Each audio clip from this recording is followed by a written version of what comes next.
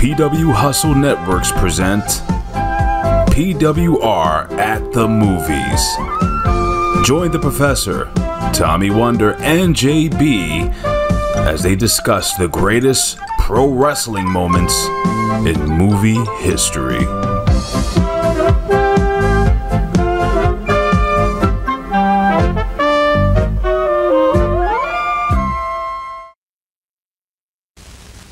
In the future, after the big war, there will come a time to rebuild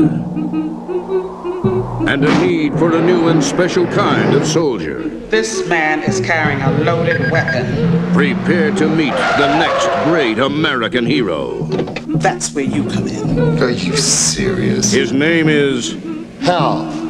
Sam Hell. Never heard of you. We're going to Frogtown. And this is the adventure he's been waiting for. We're gonna get him out, and then you're gonna get him pregnant. And if anyone's got a chance in hell of rescuing the virgins from the evil clutches of Toady It's a miracle. Right. Let's go. and escaping from Frogtown! It's Sam. Holy shit! Be there for the action. the adventure. Oh, Sam, what are you doing? And be there for the dance of the three snakes. Dance or die? We're all gonna die. When hell comes to Frogtown. Starring Rowdy Roddy Piper as Sam. You are one weird dude. Sandahl Bergman as Nurse Spangle. Wired to blow. Hell comes to Frogtown. Eat lamp, froggies!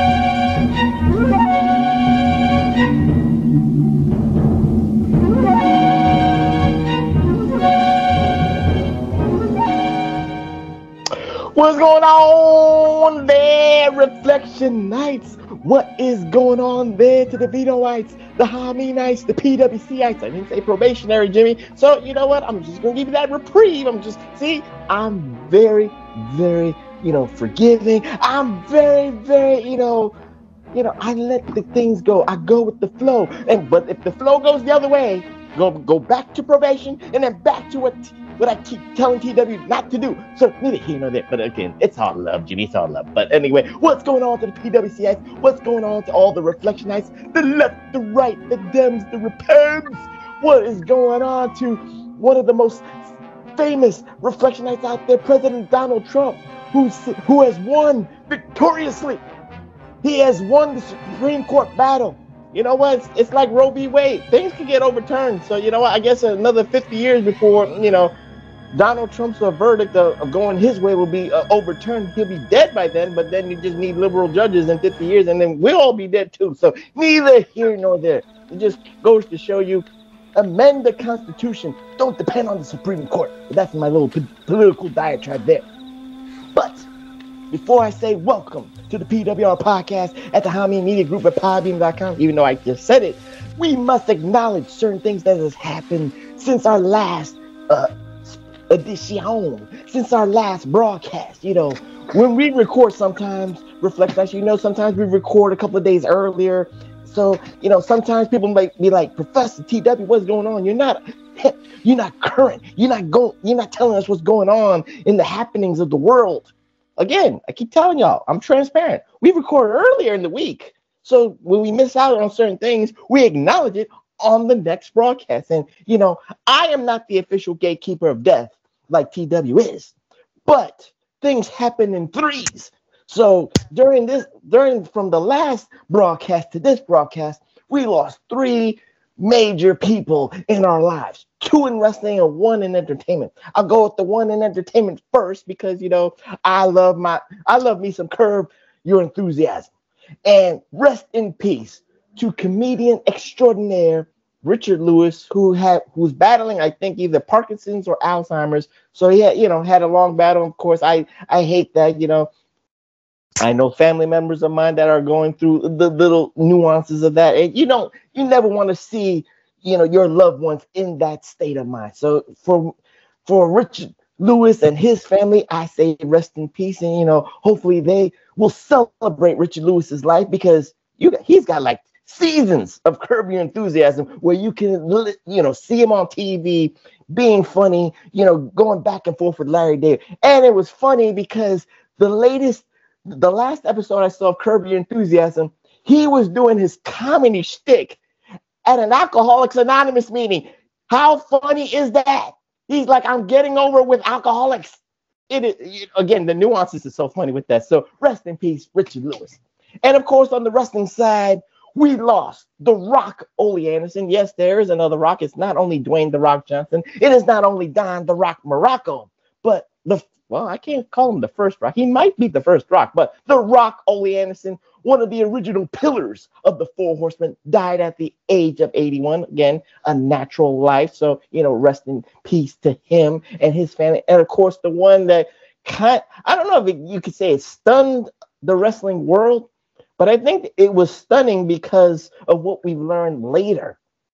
Rest in peace to Virgil, aka what was his other name? Uh, Soul TW? Train Jones. Soul Train Jones. And what's the stunning? The stunning thing was not that he was battling ailments. That's not the stunning part, TW. The stunning part was he was older than we originally thought. He lied about when he was born. He originally told people he was born in 1962. No, he was born 10 years earlier. So, TW, if you he was not, seven, yeah. So, you oh, know, I read we, 62. We, you know, in SummerSlam 91, where he won the million dollar t- championship at mm-hmm. SummerSlam, mm-hmm. yeah. he was actually 40 years old at that time. Wow. So, you know, again, that's just the little nuances. Again, it's not stunning that he had the ailments, TW, but it was stunning that you know we learned from his people, his management team, that he would that he kind of lied on his birth certificate. So, you know, neither here nor there. I'm not, ju- it's not about I'm judging him, but I think he even knew that he had to lie about his age to make it in the wrestling business. So this way he wouldn't be like thrown out the pasture. So, Virgil, rest in heaven. You know, you hustled the wrestling world and that made you the master. People made memes about you with uh, having that, uh, you know, that booth where no one would would uh, get your autographs or pay for your autographs. You know, there's a booth up in heaven, and they're lining up around the block to finally sign the get those autographs from Virgil. So Ole Anderson, Richard Lewis, and Virgil rest in heaven. So before I even well, I'm gonna introduce TW, but TW. There's a fourth know, one.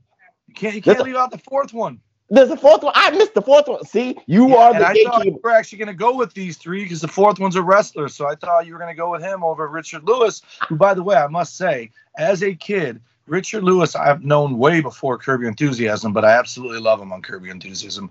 He's the he's the heel basically. He's the heater on uh, Curb Your Enthusiasm, the wet blanket. But mm-hmm. uh, he he would always date. He dated the chick that uh, interviewed the Step Brothers for the job, and they go, no we're going to interview you. That's her. She was on an episode of Curb Your Enthusiasm. Um, right. She's like, leave, get out of my office. Anyway, because of him, when I was a kid, I don't know if you remember Boku. It was like a Snapple, but in a box. And he oh. goes, What do you mean you got no Boku? He goes, When I go to a party, I'm bringing my own Boku. And because of those commercials, when I got old enough to buy my own stuff, I would buy Bokus in a six pack. They were like the kid, not Capri Suns, but like the Hi-Cs, but they were adult, like juice boxes, and I would I, buy. I never heard the Boku. BOKU, and I would go to mm-hmm. parties and stuff and bring Bokus with me, and people would ask me, "What's that?" I go, "Hey man, when I go to a party, I bring my own Boku," and people didn't know what it was. I wish I could get one now. I'm gonna see if I can find one and mix it with some vodka, which is probably what what Richard Lewis was doing. But the fourth guy is Paul the Butcher mm-hmm. Vachon. he passed away at 86. I don't I don't really know how. Um, Mad Dog Vachon was the one with the fake leg, right? That Triple H ripped off or somebody ripped off. Well, Paul the ripped off. Butcher Vachon was his partner or cousin or brother or whatever, but he Mhm. also passed away. And and when my buddies who announced it to us um, said there's number three, I'm like, damn you, Richard Lewis is number three. They're like, we don't even know who Richard Lewis is. I'm like, the hell you don't. And I said the Boku line, and they didn't remember the Boku, but he was a pretty big '80s comedian, and and the Mhm. '90s, and then Curb gave him the comeback, and J- Larry David's post about it was pretty cool because Larry David's basically takes nothing serious, and he said they were born five days apart in the same hospital, and they basically been in each other's lives one way or the other for the last 40, 50 years, and he said today he made me cry, and I'm never gonna forgive him for that. Like he basically said he just sat there sobbing. But I'm you you can't imagine those two aren't buddy. You know what I mean? Like that that whole show. That show is so good. Like if you like Seinfeld, you'll love Curb Your Enthusiasm because it's Seinfeld without a script. Absolutely. All ad libs, and there's a whole season where they reunite the Seinfeld cast. Um, Mhm. Friends are on there for us, not the whole season, but David Schwimmer's on there quite a bit. Uh, Just a great show, and you know what? It's the same thing I felt for Richard Lewis, and and I feel for Virgil. And now that I know he's older, even it's like you know, 86 is a good run for Paul Vachon, um, and uh, Ole, 70, you know, 76 but is a good run for Le- Ole, Richard Lewis, too. Virgil, Ole, Virgil, and Richard Lewis were all ill, and I, I'm gonna Mhm. assume Paul Vachon was too. But it's like at some point, you know, if you believe there's something better coming, you're ready for them to meet it because who wants to watch their family or friends suffer? 62, I thought was too quick. That's that's less than 12 years away from me.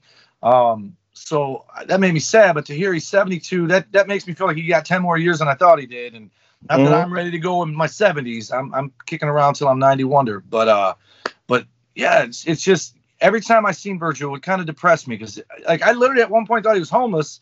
So when I read that he was died at the family home surrounded by family, that made me feel like he wasn't. And like maybe he was, maybe it was a gimmick, maybe he was working it um to make it to get people to give him money or whatever. But um I I, didn't know I, I, Lewis. I think he just, I think Virgil just hustled the wrestling world. Right, So, you right. know, you Well, got good for him, because he- Mhm. he's old enough now. 72, he was old enough to be a carny. So Yeah. and Ole were carnies, and and and uh, you know I, I got to say this about Ole. I always talk about him being the old man who didn't fit the four horsemen. I still think he was probably a good human being. I just don't think he ever fit the tell, horseman. tell that to yeah, tell that to Teddy Long. He was doing he was dancing, so I don't I'm, I'm Right. just saying. Well, you know. yeah, that everybody has I- their I- experiences. I, I mean, as a human, you don't want someone to suffer regardless, right? And what do they tell you all the time? I'm, I but again, there's two sides to every person Right. and two sides to every opinion. So t- Teddy I- Long I, would would be one person to Teddy be like, Long would yeah. agree that it's it's up to God to judge. So if if, if There you Ole go. did things that he shouldn't have done, he's he's answering to him now. So, Mhm. but at the same time, you don't celebrate someone dying. You don't celebrate, you know, like you know, especially with politics, man. People celebrated. um Who's the guy? The the, the guy, the shooting guy, and he got shot and killed at the gun range.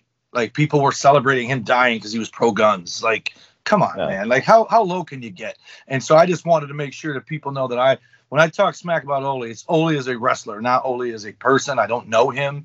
Mhm. Um, obviously Teddy Long does, and if they didn't have good time together, that's that's them.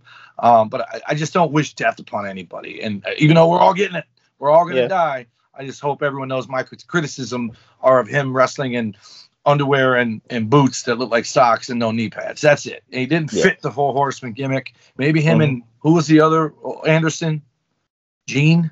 Gene Anderson, the Gene and Ole were probably badass in their day. They were probably the demolition of the Road Warriors of their day before I was ever even thought about wrestling. Wrestling, but him and Arn weren't oh, him and Tully. Arn and Tully. That that to me is the better. That's why I like Luger as the Horseman better than Ole as the Horseman. Even though some of them old stodgy people prefer the original four, I ain't one of them.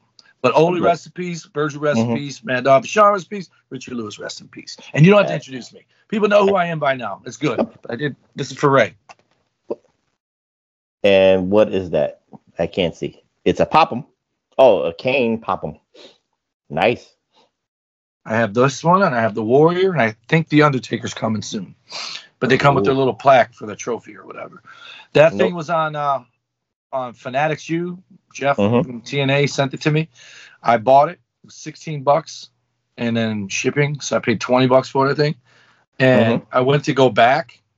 It was already sold out. There's only 3,000 of them. So I have one of them. Damn. Well, you Yeah. know, you're you're quick on the button, so you know that's good for you. Cool. I also to you. bought the Sting that was released yesterday. That's only oh, 3,000 eh, And or before- 5,000. and be- and before anything, before we get into our you know PWR, you just said the name Sting, Steve Borden. So congratulations to a career, Steve Borden. 39 years in the wrestling business. I saw him wrestle in 1987. I saw, you know, him go 45 minutes with Ric Flair. You know, Clash of Champions won 1988. We saw, you know, TW that, you know, there's so many.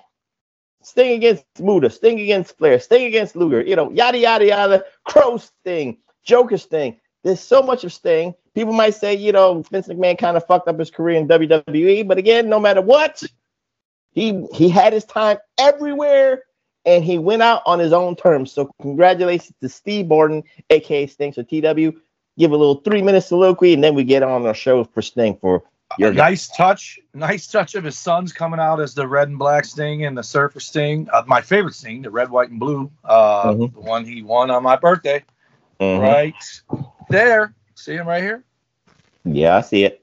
Can't really see it because of the other stuff, but Mhm. Sting. It's funny. Um, Amanda Caliber. Um, I don't think she listens to our podcast, but back when I was a little more active on the Twitter and I was just adding wrestling people, she and I added each other. Um, she's a huge Sting fan. She painted her face all all four ways that he painted his face. Half half Crow Sting, half Surfer Sting, half Wolfpack Sting, half Joker Sting, and she took a picture of both, put it on there, and talked about how she met him.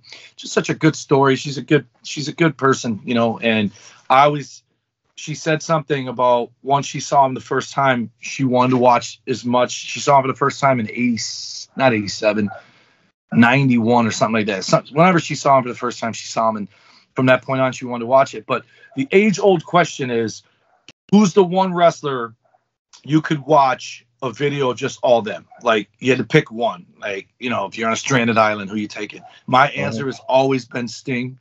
Um, yes, the same can be said about him as, as about Flair and about Brett and about whoever. He has the same match. You know, he does the Stinger splash, the scorpion deathlock, the death drop, the howling, the dive over the top rope. But the, the one thing about Sting that I think makes it different is Flair brought humor. Uh, Mhm. Brett brought seriousness. Sting brought excitement. Like no matter who he wrestled, no matter if he did the same things in that match that he did with everybody else, you could not help. He had it. Sting has it. And you know, even even in the end with AEW, when he did the dive off the balcony, I think on the Hobbs, and he did the dive through the table and missed it, and everyone's like, he's dead. You know, that was a couple months back. He gave his all every single match. There's never a match in my life I've ever seen Sting in where he phoned it in. And the Mhm. worst one, obviously, being Seth because he got hurt and he tried. But even there, he did, broke a bone in his neck near his spine, which is the one I broke, which could have paralyzed him and or killed him. Obviously, it, it wouldn't be and or it would be paralyzed or killed him. Um, Mhm. He gave his all, and he's he's one of the first. You know, you love Mike Awesome. Mike Awesome was a guy who started wrestling the luchador style as a guy the size of Sid Vicious. Sting was one of the first guys that size that would just run and clear the top rope and dive over. Undertaker does it too, but he didn't do it till later. Sting did that stuff way early on. Um, top rope to the floor. He just he has it, man. Like he oozes. Hogan had charisma, but he punched and kicked. Sting had charisma and flew all over the ring like a pinball machine, and and just it Mhm. was exciting. You couldn't watch a Sting match and not be excited. Yeah, and like I said, you know, again, we just try to keep up with the Joneses here. We, you know, so we are as transparent. We know what's going on and all that What stuff. did I so- text you and Ray? What did I text you on the day of the show before it happened? What did I predict? Oh, that Sting was gonna win. Win and retire undefeated so Tony can Yeah. have another tournament. And he did. And Mhm. it was the right thing to do. I feel like it was partially done as a slap in the face to Undertaker's streak ending.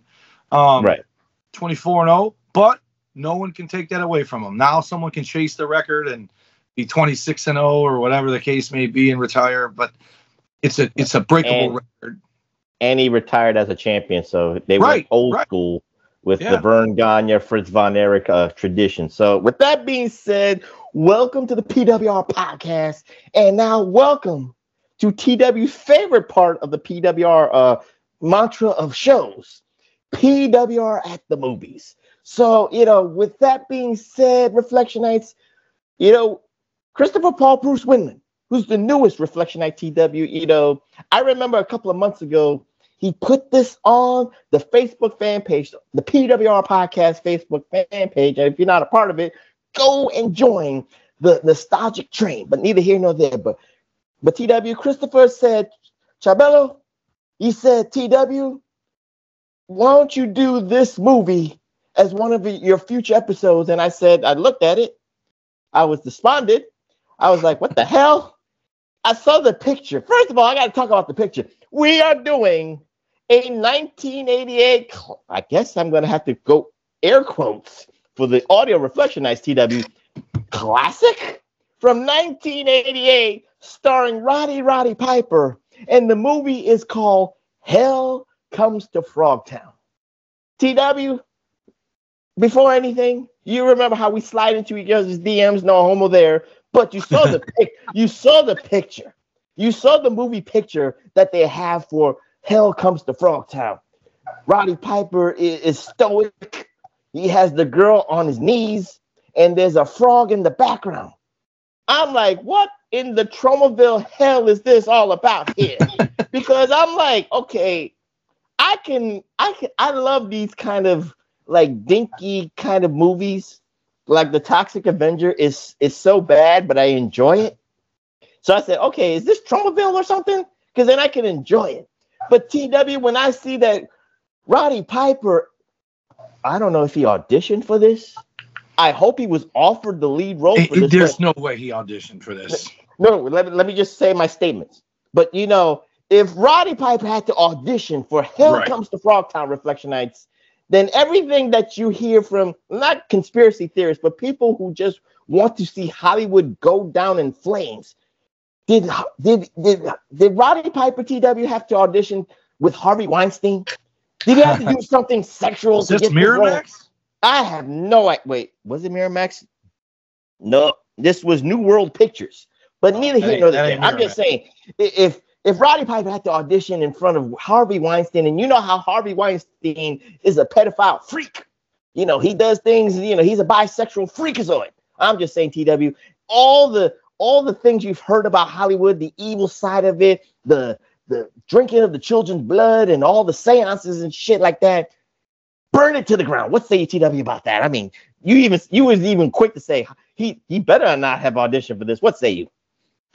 Listen to me, man. Uh, the first thing I got to say, I I just looking up to see what came out first, it or They Live, and they came out the same year, and I'm hoping this movie came out second. But I thought I you think told this me. did. I think this did. I thought you said They Live came out late '88. I don't. You, you know what it is? This IMDb changed the way their shit is. Yeah. So it's hard to you know give confirmation here, but I think in terms of what came out first, no, actually the release date did come out January '88. So maybe They Live came out second. So that's why he was, you know, he rebounded, if you will, Reflectionites with a better cult classic in They Live and this monstrosity called Hell Comes to Frogtown. So you are correct, TW. So this came out in January '88. Maybe uh maybe the production release date, you know, but again, Roddy Piper. Okay, I T-Dub. found it. I'm, I found the thing. So we'll we'll see here. What about it? All right, go ahead. Say what you're saying. But but either way, Roddy Piper was going had the Hollywood bug. Again, we saw with with Jesse the Body Ventura and and what he was going to do with Predator and all that stuff. So Roddy Piper was like, you know what? If Jesse can do it, I can do it. Reflectionites. So you know the the funny thing is with Hell Comes to Frogtown, and you look at it from this standpoint, and we'll talk about what happens in this movie, Reflectionites. But it's a post-apocalyptic kind of I want to say comedy adventure because the frogs look really like cheesy. It's cheap. I'm Good just night. I I wish these frogs were CGI so this way I can enjoy this movie, but it's not. It's just rubber faces. But neither here nor there. But again, Piper got the itch to go to Hollywood TW, and this was the first movie that came out. Thank God for They Live because if that didn't become a cult classic like it has been to this day, I think Roddy Piper would have been direct to movie, direct to video kind of a movie star. We and certainly he is technically because in the 90s he had a couple of movies that I never even heard of. Didn't we I've do a movie his, called Tag Team? No, that was on ABC. That was a that was a network TV show pilot. Yeah, we did tag team. Oh, yeah, yeah, that's what I but that was but that wasn't a movie. But that was his like last string of something like very big and very noticeable. But everything else he's done after they live is very direct to video. So you know, again, with that being said, we are gonna talk about Hell Comes to Frog Town from 1988. The budget was 1.5 million dollars TW but it looked like somebody shot it with a with a home video movie camera because you know, oh god, TW. I, I, again, I'm trying to give you a picture of this because again, people, even executive producer extraordinaire Big Ray Hernandez said to me in the DMs, Reflectionites, "What the fuck is this movie?" He never heard of it. And again, I, and I told right. Ray and I told TW, CM Punk on an AEW Dynamite actually referenced Roddy Piper and this movie. So it kind of like hit the, the light bulb in my head, like, okay, well, Roddy Piper has a movie. I did not know when it came out, but I knew I've heard the name Hell Comes to Frogtown. So of course, it is our duty to watch these movies for you reflectionites. And it is our duty to tell you, should you watch this movie? Well, I gave TW the link and it was YouTube. So if you don't want to rent it on Amazon Prime, if you don't want to rent it on Netflix or, or have a subscription and you want to watch it free, watch it on YouTube and you won't feel cheated. I did not feel cheated watching a free link, and TW certainly did not feel cheated that he had to rent it or anything else. He watched it for free. So if you can find a free link, then watch it there. So, with that being said, TW, anything else you want to say about with the comparisons, or, or, you got any notes that you wanted to talk about? First of all, this it's like you said, the the cinematography's terrible, the acting's terrible. Piper's basically Piper. He's wrestling's Piper. Mm-hmm. Um, the the the the dialogue is terrible. Um, the costumes are terrible. To answer the question, no, no one should watch this for free or otherwise. It it is easily, and this is after the other Piper movie.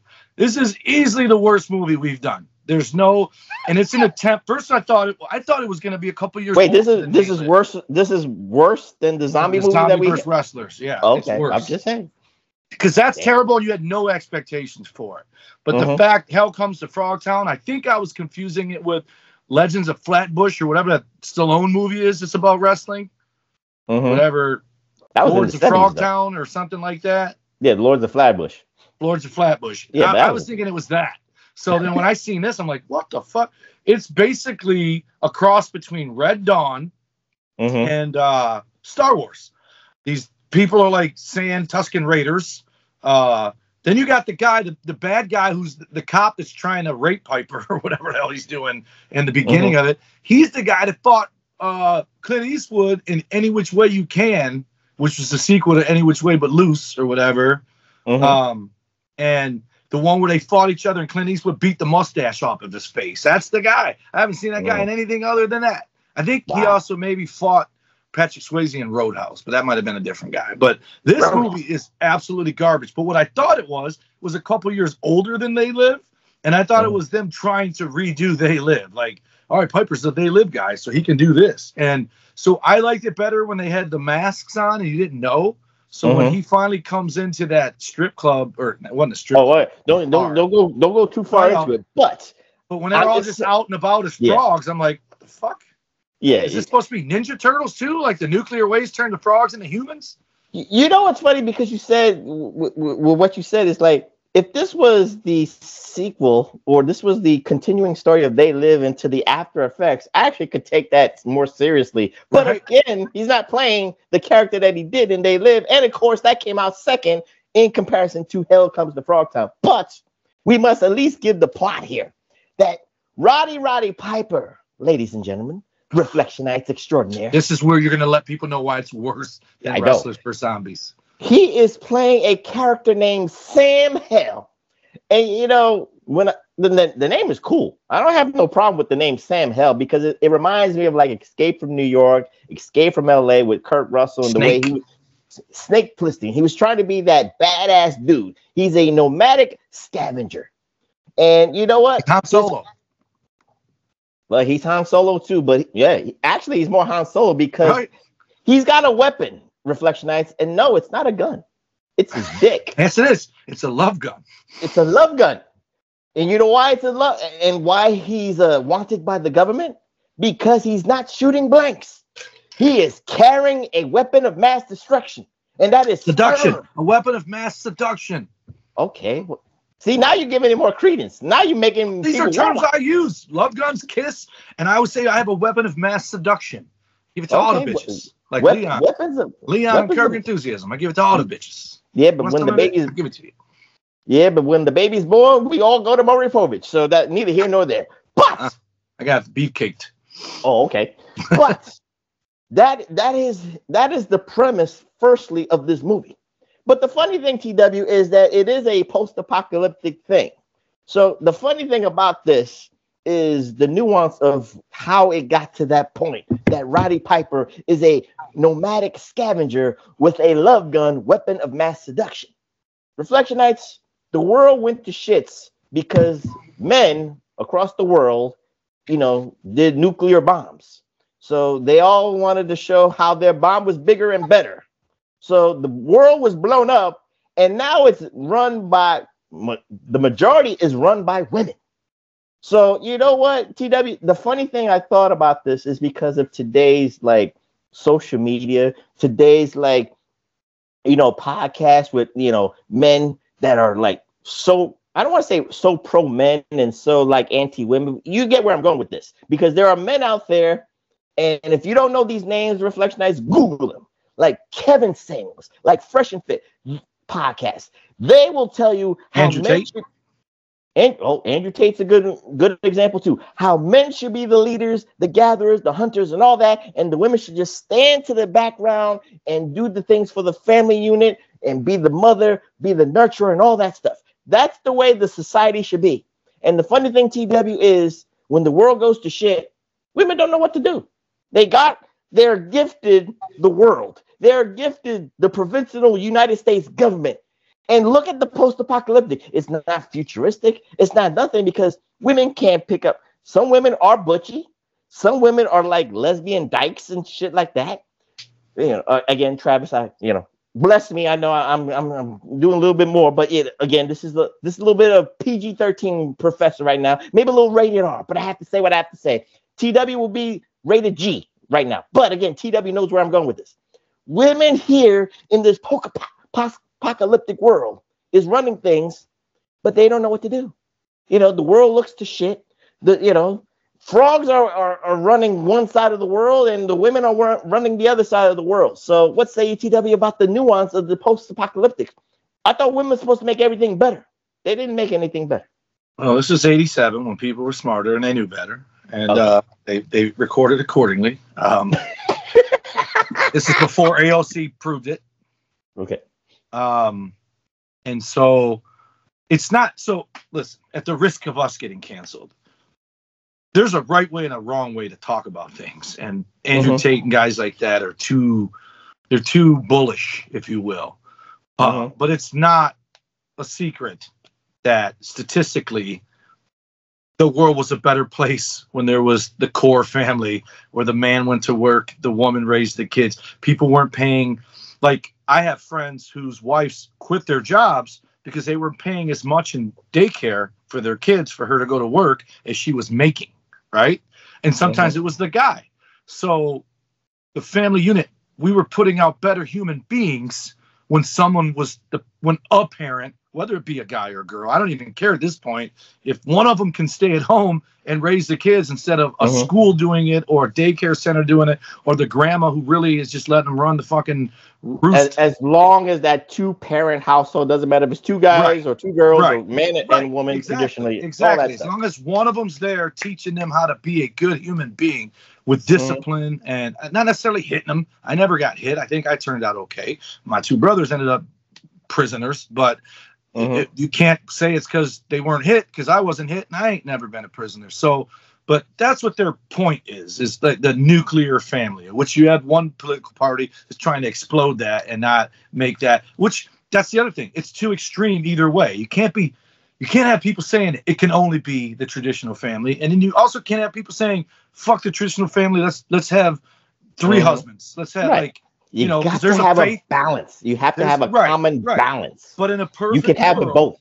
you had one working parent and one stay-at-home parent. Again, I fucking give me a wife that will let me stay home and raise some kids. And listen, I don't care how many women I offend. I'm gonna do it, and I'm not gonna complain about it if I'm doing that over going to work. Because the two reasons. For one, it's easy in the beginning, other than the crying and the feeding and the diaper changing. But then they get a little bit of self-sufficient, and the proof is these women end up getting side jobs when their kids are in school anyway, either volunteering at school or going whatever. So Mhm. you're gonna miss it when it's done and you're gonna end up having to get a fucking job anyway because we live in a society unfortunately where two people have to you have to have a two person income whereas 50 years ago people one person had a job and there was half the workforce because half the workforce stayed home you made more money you like for the times right Mhm. you could work as a teacher and raise a family. You could work, you ain't working at McDonald's and raising a family unless you're the manager. But the point is, I digress. Yeah. So what happens is, and this is what the saying has always been, women are too emotional. So when stuff like that happens, if you need an exhibit, I've got three letters for you. A O C. Once she gets her feelings involved, she goes off the fucking rails. Is every woman like that? Absolutely not.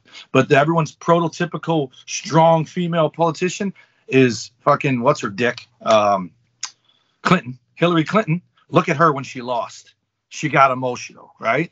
Whereas other people are like, eh, fuck you. I'm coming back four years to take your job, and and so on and so forth. So To the be, guy but to in be, this movie but to be fair, but to be fair, but I just want to say To to be be, fair. I don't want to go one political every. right, There's right. there's people on the other side too. you, you got to be in the middle. You got to Yeah. meet in the middle. That's all I'm just saying. Go ahead with your But the guy in the movie Mhm. who's the cop, and I just remembered why he was dissecting Roddy Piper because he got his daughter pregnant. That's Mhm. that, and she claimed he raped her.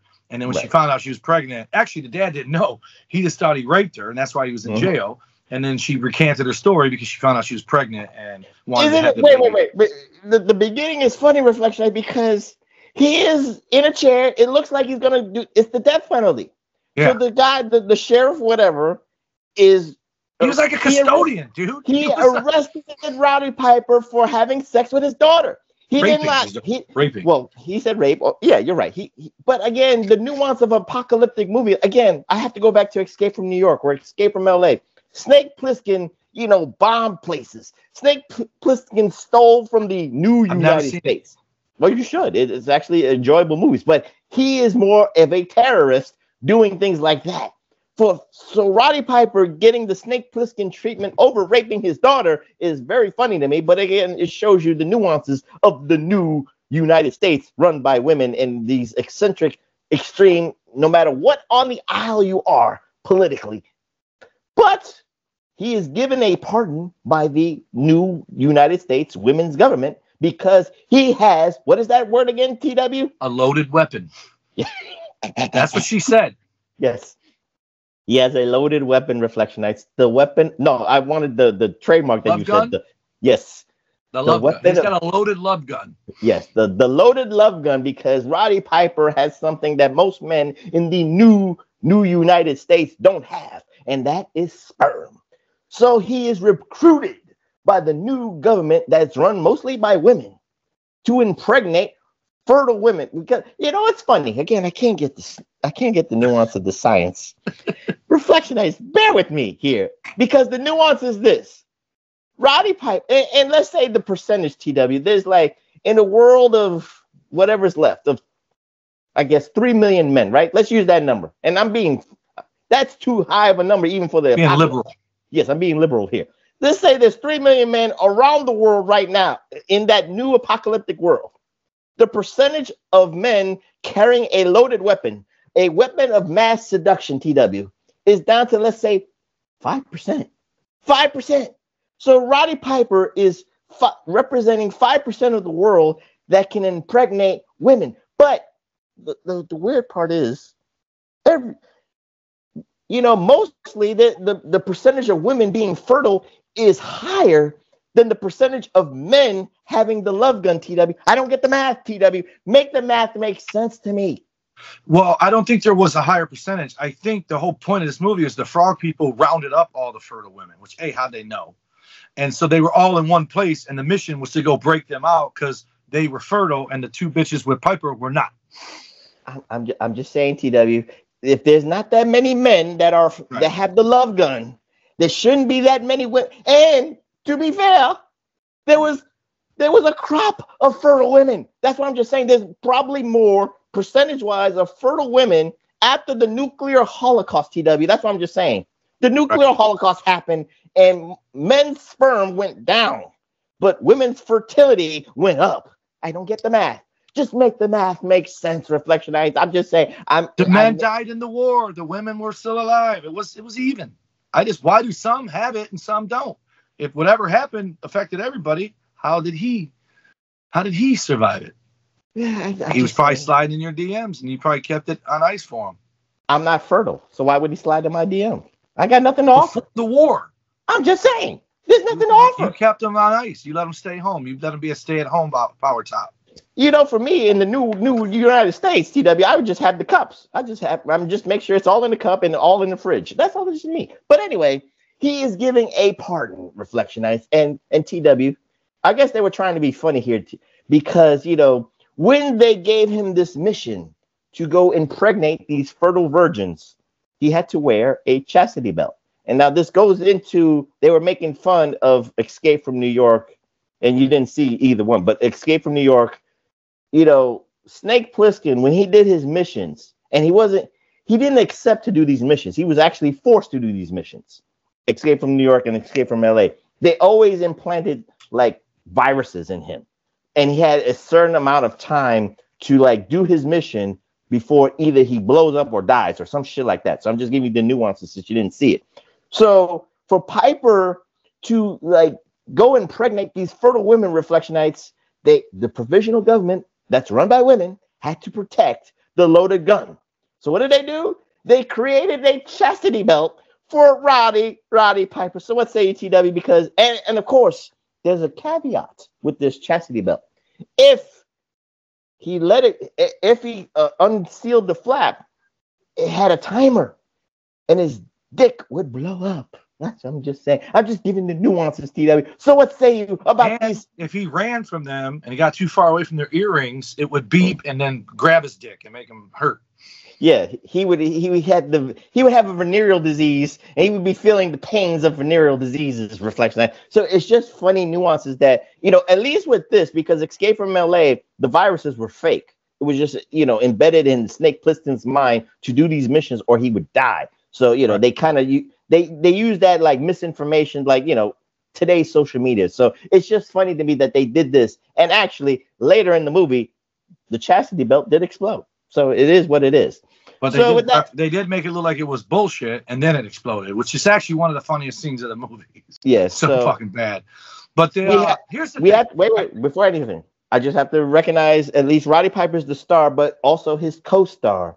I think she was in Conan the Barbarian, if I'm not mistaken. But his co-star is Sandahl Bergman, who plays what the hell is her name? Sparkle? I forgot. Oh, Satchel? I forgot that. But anyway, the, the bitch's name is Sandahl Bergman because she just looks vehemently from Conan the Barbarian. Tito, I just wanted to acknowledge her. But what were you gonna say? um the, the the funny thing about it is the trying to find that chick. the two things. The chick is one. Um Mm-hmm. the other chick was hotter, the short haired chick, right? Mm-hmm. But I think the chastity belt's purpose was um the Yes, chastity she did. Yes, she did play uh in Conan the Barbarian. Sandahl. that's Juliet. LaFleur was Squid Lips, Sandahl Bergman, but the other chick, Is Cec Verrell who plays yeah, Centuri- correct. Centralia. She was she was hotter. Um, but so the chastity belt was a it was it was a punishment if he tried to run, and b I think it was to stop him from whacking or banging other chicks because he needed to save it for those girls. But there's a scene where the blonde tries coming on to him and he turns her down, right? And then she, Mhm. I'm a master of seduction or whatever the fuck. And as soon as she goes to bed, the other one tries to bang him, and then Who's, you're out who's not fertile, and she's not fertile, but she's right. horny. Waste, waste of it. Mhm. Right, right. She said she wanted to see it, take it for a ride. Uh, but anyhow, the, the blonde the whole time is like the beta. She's the second to the black chick in the beginning. Then she's the Mhm. second to the GI Jane chick who's there, and uh, which by the way, that chick was on X Files. Hell comes to Frogtown. Yeah, there it is. Oh, that's the other girls. So, so, the blonde comes out all timid, and then right when she's about to bang Piper, the chick does the thing with her earring and makes it thing, and she goes, "I was just following orders." Like the other chick was the leader, and then all of Mhm. a sudden now she's alpha boss, and the other chick is you're out of uniform, private or whatever the hell the case was. But it's Yeah. funny because Sandahl never takes off her clothes, but the other chick does immediately, right? Yes. and you definitely look at her and think lesbian the whole time. Like you're never ever thinking she's gonna Mhm. be interested in Piper. I'm thinking her and the blonde are gonna go at it, right? Like they're gonna go in the tent to taunt him, right? So This- and then at the this- end, You know, you're right. This because this looked like a bad '80s porn. yeah. Like the way the the cinematography, the camera The, work. no, the and even- best way to describe it is it looks like a Kevin Sullivan produced Dungeon of Doom video. That is right. the Hogan getting choked out by the Big Show, um, staying in the White no, Castle of then this is better. Then this is better. Oh, it's this better. White Castle of Fear and then Dungeon of Doom is all. That's the that's the level. but it's we talk about. very similarly similarly done. It was it was Mhm. bad, dude. It was not good. it was not good, but it, it, it has its funny moments. Again, the, the chastity belt that explodes is funny. You know, to protect the loaded weapon, if you will, Reflectionites, is a funny concept for it. But again, the mission is to get go into Frogtown to not only save the fertile virgins, but to impregnate the fertile virgins. And that's basically the whole premise of this movie because once they went into the refinery town of Frogtown, again, TW, I'm not a stickler because I'm nitpicking here because again, it's 80s movies. I I love the hokiness. I love the hope, but even in the 80s, I forgot the dude's name that did all the horror mask and stuff like that. But you know where I'm going with this. Like Freddy Oh, Krueger. Tom Tom Morello or not Tom Morello, that's but Tom Tom Segundo or something like that. yeah, you, you know who I'm talking about. Yeah. But he Day He Dead, does- Evil Dead. yeah, but he had he like you know he uh, Tom Savini. Tom Savini. Okay, cool. But he honored his craft. He had passion for the craft. Right. Right. of makeup and, and all that stuff. Frog Town Reflectionites. It just looked like it was just a mask of frogs. And of course, you know, they, they, they, they- they're talking like this and all that stuff. But they're talking. It's just so. And for It's like a person gonna- with a frog face. and, and again, it- it's just it- it's a person with a frog face. But again, do you remember the the the uh, the series V? That was bad makeup too, but at least I could accept it for what they were trying to do. At least they had a human face, and then when they beat when they blew in the buff, the face ex- exploded, and then you saw that dumb mask in beyond Reptile face, it, yeah. the reptile mask behind it. This is just so hokey like and the shit. I- Terminator. Uh, you saw the metal after he got beat up. but that was better makeup and all that stuff. That Right. was But They- V is at least a TV show. This is a movie. It should have a better budget. I'm just saying, yeah, but it's the budget. I again, it's the 80s. I understand that. But at least, like you said, Tom Savini has a passion for the makeup and all that stuff. He has a passion for what he's doing. And of course, V, they had a passion for at least with, with the makeup in itself. The human face explodes, and then you saw the reptile face. You says Terminator. Again, James Cameron had a passion for it to at least look good for the movie and the cinematography.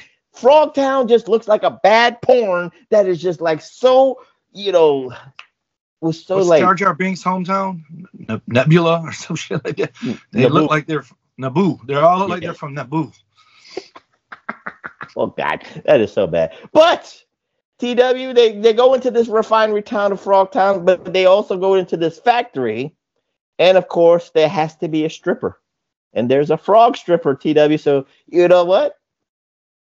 And the frog stripper again, it doesn't matter about the laws of nature. She's horny too. She's a horny And- toad. and she knew the history of Sam Hell, aka Rowdy Roddy Piper, and she wanted to bang. And if this was a porno, if this was a porno, TW, he would have fucked her. That's all I'm just saying. Is what happened. So TW, what say you She about would the have put frog? the mask on. She would have put the bag over her head for him too. yes, she would have. What I bet about there's a fucking porn a parody of this show. There has to be. There really Has has, to be. There Has has to be. I, again, reflectionites. We're just trying to have some fun with this because I'm not going through the whole shit. Because again, that's the nuance. The mission was to invade Frogtown, get the information, and find out what the fertile virgins were. And Well, get the TW guns because it was also black market guns. No, but we learned later, TW. So let's to be fair, the guy that accused P- Piper of raping his daughter was also. We find out in this movie some shit. is a double agent because he wants the money. He whatever money is in the new new world TW. He's the go between between the is a bullfight. He is Count Sodom. yeah that that that was his name. That was his double agent name, Count Sodom. That he was Captain the go, Devlin, Count Sodom. He was the go between between the the women's government and the frog government. So he you know so he can make all the money for himself. No, But- he wanted to build the only nuclear weapon and he was going to blow up all the women. He hated that women. He said I was going to balance things back. He died in 2021, by the way. But yeah, again, eh, the nuances of this movie is so bad. That's all it is. But they finally now we have to talk about the the protagonist, you could say, T, um, the antagonist, TW, and that is the leader of Frogtown, and they just call him one thing, Toady. His name is Toady, TW. It was very simple, very direct. He was the big, he was the big frog of the town, if you will, and of course, Rocket. I don't know if about Toad the Red, Red Sprocket, but even Toady was horny too because when they captured uh, Roddy Piper's uh, underling, if you will, Reflectionites, she had to do the dance of the three snakes. And we find out, TW, that the three snakes was three loaded weapons himself. I don't know if he was fertile. I don't know if he was cap- carrying weapons of mass seduction in the frog uh, world, but his snakes was going crazy when she was doing her gyrate, and her dance actually sucked. I don't, even though she was uh, let's say uh, given encouragement by the festival Virgins before she danced for the she before she did the dance of the three snakes. So what say about all that shit? It's just really hard. I'm one of the trying. I'm trying, scenes- TW. One of the funniest scenes, she's like, let's just walk out that door right now. That guy ain't shit. Whatever. And then they take him out. She does like all of a sudden she's karate. She's not the timid little blonde that she was. And then when she goes to leave, eight other guys come in and go, come on, bitch. And just take her out of there. And the girl's are like, eh, maybe not. It was so stupid, dude. It was it was it's still not worth watching. Don't take this laughter like it means you should see it. It's that bad. And and you know what's the dude's name that recommended it? Uh, Christopher Paul Bruce Windland, the newest He reflection. either did not watch it oh, he did. hear us talk about it, or he watched it and was so angry he wanted us to suffer through it too. Very- Nah, he, he would never let us suffer. I think he he knew that we were gonna get give it some entertainment. He we were gonna give it some feedback. He he knew that we were gonna be passionate for our reflectionites. Again, Christopher, if this is a rib, Chris, you know, got you got you it. win. You, You you, win. win. you got us. That's all I'm supposed to say. But anyway, neither here nor there. But you know, there's really nothing left to talk about again because Roddy Piper. Oh, we have to talk about that scene where T- Piper is actually tied up when they capture him, Oh, of- yeah. and of course, one of Toadie's like underlings has got a chainsaw. And, and TW again, this is again bad 80s uh cinematography, but he is using a chainsaw to cut off the chastity belt, and you don't see him, you know, directly doing it, but you see the the fake Sparks. the fakest sparks come up. TW, we're, I was laughing. I was laughing like this is ridiculous shit. I'm saying. What say you, TW, about that part? It's horrible. The, the whole time I'm watching, I'm like, is that fake or is there are they really firing sparks in front of both those guys? I think it ended up it's fake because it's too fluid. Like it's the same pattern for both of them, whichever camera's doing it. Um, And Piper, first of all, why isn't he kicking this guy? Because he he's ba- he's basically making it out like he's going to cut him in half to take the belt off of him, uh, and then he just cuts through the belt. But the whole idea of cutting the belt, he goes, this guy likes the technology, he wants to check it out, but then cuts the belt right where it ruins the belt. So how are you going to get the technology from it? And how did Piper not get cut? And then Style Lips or whatever her name is comes in to rescue him, And he Mhm. goes, I owe you one. And she's like, oh. And then puts the tries to put the he goes, not now. And then she dies a fucking horrific death with a drill bit. It's just Yeah. it's so bad, man. It's so, so, so bad. Like Piper, I think what happened is since this this was first, he probably filmed They Live first, because that's John Carpenter. Probably took an extra time to produce it. And this Mhm. one got made to kind of jump on it before They Live came out and without production. Mhm. And Piper probably saw and went, I'm uh, fuck this. I'm going back to wrestling. This is not for me. No, I mean again that that whole eight eight he was retired. He did two movies there. You could say neither here nor there. But with that being said, Reflectionites, of course, Roddy Piper gets away, and and of course, you remember they lived the infamous line that's still remembered to this day. I've come here. Well, what's the whole line? I Came here to do two things chew Yes. bubblegum and kick ass. And I'm all out of bubblegum. Well, in Hell Comes to Frogtown, he tries to do a line. He says, uh, "It's time to kill the froggies." Oh, I thought you were going to say uh, a soldier's work is never done. Well, pick your poison. He was trying to I don't do even remember the time to kill the froggies, but that would He- be more in line. He had the two shotguns. It was like it's time to kill the froggies, and then he kills you know the underlings and all that stuff. And what say ETW? Because again, they, they live. The true bubblegum line is is remembered to this day. I It's- think we had it wrong. I think when we watched the movie, he actually doesn't say it like that. It's Mhm. the Mandela effect. It's Yeah, yeah, but Either- that's the line. But either way, the they live line still lives in infamy to this day as something Yeah. celebrated. Yeah. You can tell that with this movie, you you even said it yourself that Piper was being more Roddy Piper, being, being more of a wrestler. He even did the eye gouge. Yes, he did. He did Reflectionites. He did an eye gouge. He did. I was waiting for a sleeper hole, but neither here nor there. But in this movie, you can tell that he was trying to find these one-line zingers because, like you said, TW, it was the script was bad. Even the the the, the dialogue between him and the girl and him and the toad and all this stuff was so like it was written by a four-year-old. That's why it just it just it just really looked like the script was written by a four-year like the producer's four-year-old son or daughter just said, "Daddy, can you do my movie, please?" Right. and he did it, and like fuck it, it cost me 1.5 million dollars, and probably it probably grossed like five million dollars worldwide. TW, but that's There's a profit. way. That's a profit. That's a profit. That's all I'm just saying. But anyway, what's say TW of him attempting to do these one-line zingers that is still not re- you? You remembered something in this Frogtown movie that he was trying to do a zinger. Yeah, he was Like just always trying to be Piper. He always it's all he had was one liners. Like he couldn't remember paragraphs or something. Like I'm just gonna hit one liners.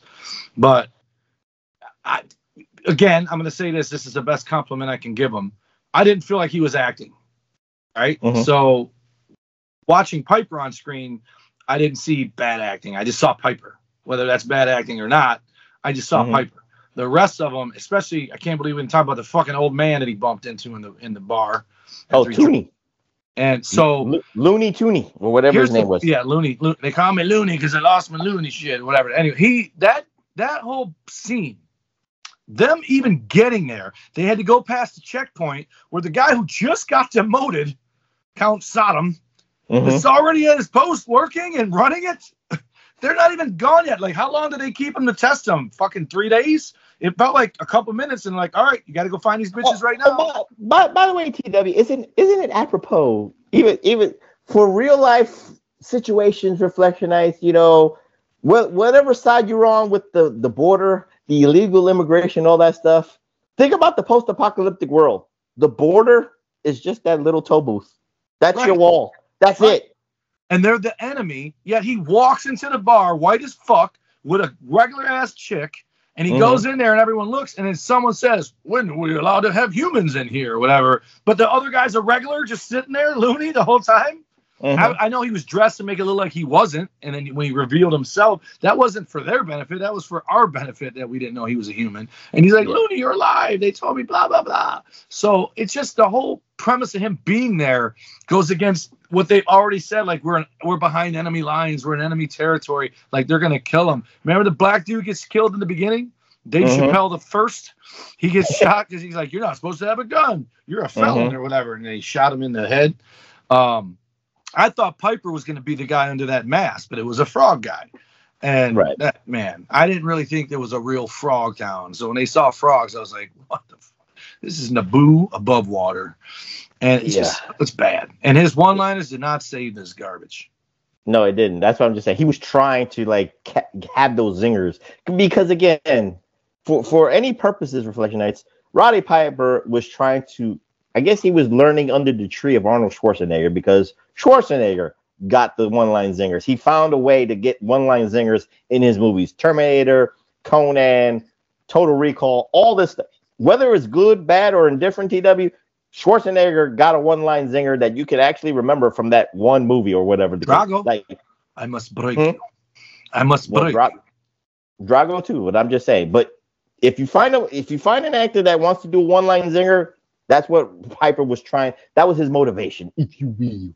So, in all intents and purposes, Piper and his and his blonde-haired chick, you know, the Conan chick, finally saved the Vestal Virgins, and they got to escape back into the town. So we could say the main. It was actually a double main event because Piper had to overcome Count Sodom and Toady Ref, uh, Reflectionites. So TW, Cody Rhodes. to, to- the American Nightmare, Toady Rhodes. Okay, well we can go with that. Yeah, we, we can go with that. So what say you, TW, about you know the, the funny thing about Roddy Piper's character again, he's not Rambo, he's not Snake Plissken, he's not any he's, he's not any of these. He's Sam Hell. No, but he's not a guy. Technically, he's not a guy that that's a. To me, he's he's not a guy that that carries a gun. He Is had it- one, but he said he was a war hero. Remember, he was a war hero, Sam Hell, because he said my reputation precedes me. Yeah, I know, Sam Hell, war hero. She's like, no, this thing, and grabs his dick, and Mhm. then says, I can't. Where do I get it out? There's a flap. That was the other running joke. There's a flap. yeah, that, that, it, it is a flap. So what say you about his double main events against Count Sodom? I don't. I don't and remember Toady Rhodes. how Toby, Toady Rhodes got dispersed because they just he goes. I, she goes. I can lose them in the rocks, and then they just show him standing there. How did they end up getting killed? Uh, Toady Rhodes got killed because Sam Hell has has a weapon. Oh, they were choice. chasing. No, what? No, they were chasing him. Yes, they were chasing Sam Hell and the Vestal Virgins in the pink Cadillac, in the pink lady's Cadillac, no matter Right. what. But then they Like, lost them in the rocks, and that's where Count Sodom was. And he Mhm. threw the sword through him. That's where we learned that Roddy Piper's best weapon is not a gun and is not the weapon of mass seduction. Reflection. Sword. He it's a sword. It's a katana sword where he uses it to kill Count dart. Sodom, like a dart. And of course, he uses the katana sword, Reflectionites, to chop off the hand of Toady Rhodes and That's he how he falls off Yeah. the cliff. Reflection Yeah. And of course, with all this being said, the re- I guess the reward for Roddy Piper is he goes back into the government to fuck Vestal Virgins and then gets a two week vacation with the woman that that actually he does like in in the And she's okay Bar- with it. It's basically the premise for The Bachelor. I got you, but you can fuck all these other girls too. That's basically what happened. That's basically that's not even post apocalyptic. That's the nuclear family's logic. Fuck them all. Cook. She's a female cook. Yes, she is. So what say you about this whole movie genre itself? I give it A for effort because again, I, yes, I do. I give it A for effort because it has Roddy Piper. It has the chick from Conan the Barbarian. It get it has titties. I love titties. That's my favorite it- because that's TW's post. But that's a that's an inside joke between me and him. But anyway, neither here nor there. It has titties. It has frogs. It has all this stuff. It could have been better. But it, the, again, it was written Oh, by Mad a Max four-year-old. movie I was thinking of. It was Mad Max meets Star Wars and Red Dawn. Yes. If if this was done in the in the spirit of Mad Max, in the spirit of Dune, then this movie would be an A. But again, this was written by the producer's four-year-old son or daughter and said, Daddy, could you just do this movie for me? So that's why I give it a great I'll give it a triple F TW. That's the grade I'm gonna give it. I'll give them an an A for effort, like you said, that they got this Mhm. shit made, and another A that they got it distributed. Distributed if it was in the theater or straight to New, VHS. New, New World Pictures. It was a big company back It's, then. it's stunning to me that this made it in a day when we're hearing about they made a Wile E. Coyote movie that that Warner Brothers was asking for too much money and nobody would pay it, so they just vaulted it and said, "Fuck it, we're not releasing it." Like, are you Mhm. kidding me? Put it on your stupid app. Like, don't just let it go nowhere. Put it there so people now it's just sitting there and never to be made again. It's Right. like it's like, come on, man. What what the hell? This movie got made somehow and it got distributed. So for Mhm. that, so, somebody was working somebody. But as far as an actual movie, Triple F, is there a lower one? Can I go Triple G? Because Triple F, you can do whatever F you want. failure.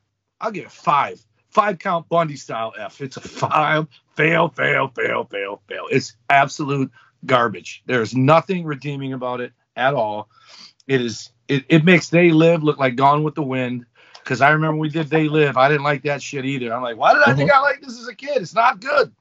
But it's god awful. And and They Live seems structured and well well made in comparison uh-huh. to this Frogtown movie. And it's I just to go in thinking I was seeing Stallone and to see this, it's like wow.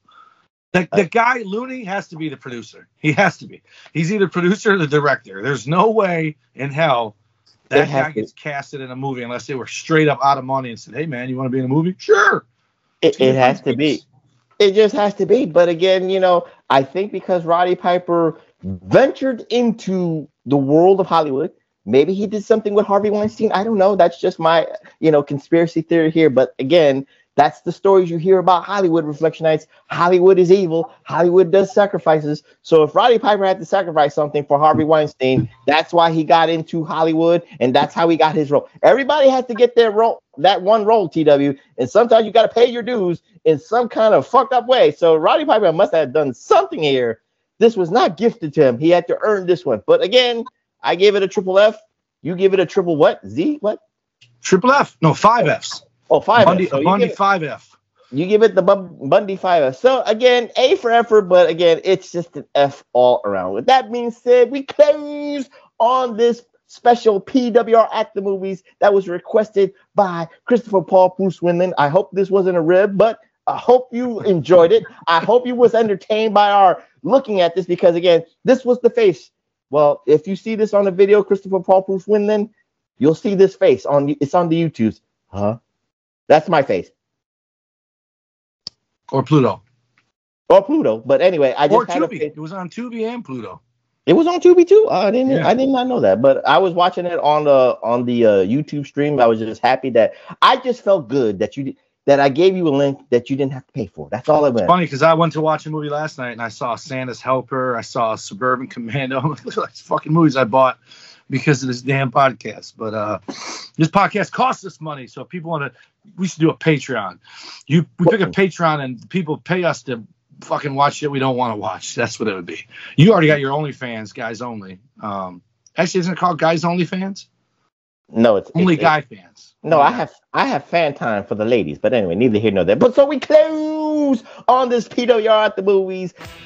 Hell comes to Frog Town, 1988 movie edition, starring Rowdy Roddy Piper, and we are going to be on a week hiatus because executive producer extraordinaire Big Ray Hernandez is on vacation with his lovely lovely wife, so they're going to have some downtime. So we know that he's going to do his Sam Hell with his weapon of mass seduction onto his wife. And while TW is holding a AEW All Elite figure of CM Punk, give out those Ring of Honor edition, but give out those socials so we can get out of here. And you're holding up a Carmelo Hayes WWE action figure. Already, uh, already. The Pro Wrestling Coalition Network can be found at PWC Network at Podbean.com, where you can also find Hameen Media Group at Podbean.com, and also Hameen Media Group at ChannelAttitude.com. Our show's on the X at PW Reflection. Uh, you can find Big Ray everywhere on social media at Big Ray Hernandez, and every Wednesday doing the Next Level podcast live. Uh, and then also you can find me on Instagram and X at Tommy Wonder 19 or also on X at the Tommy Wonder, which is also my TikTok. Snapchat is number wonder, facebook.com backslash Tommy Wonder. And you can find Big Vito on the well at Big Vito Brand on TikTok. And then you can watch the early release of the reflection video at Big Ray Hernandez on X. And you can find me on the Xer at PWSO PROF. That's PWSO Prof. And if this gets uploaded by A Track Brown, this will be on the PWSO YouTube network. There is a Cash App on the PWSO YouTube network, so maybe I could get some of that money. So this way, I could give you some of the money back of all the movies that you bought. so you know, But I have to talk to Track Brown because he's holding my money too. So neither here nor there. So follow my brothers in arms, Billy Ray Valentine, the host of the Wednesday Locker Room at OB1 You Know Me, and of course the king of the reactions, 8 Track Brown that's the number 8, TRAC Brown, and we'll be back in two weeks. What are we gonna do in two weeks? We might do a what if. We might do episodic. We might do a spotlight. We might do greatest rivalries. I'll keep you on your toes, Reflectionites. I'll keep you on your toes. With that being said, I'm the professor. That's Mr. Dum Dum Do Idiot Zone, the Iron Stomach one. Woo! Tommy Wonder is saying good night, and we'll see you next time here at the PWR podcast at the Hami Media Group at podbean.com. Time to kill the froggies. That was a bad line. That's all I'm saying. It's a horrible movie. It's garbage.